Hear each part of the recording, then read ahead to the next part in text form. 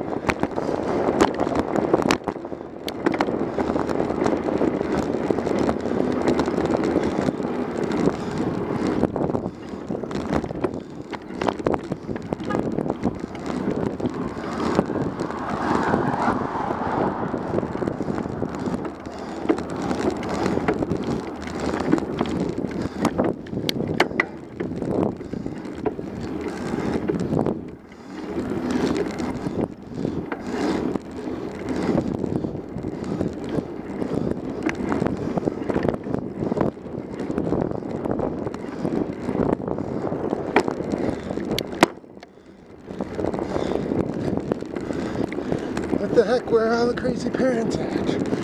Am I too early for school drop off?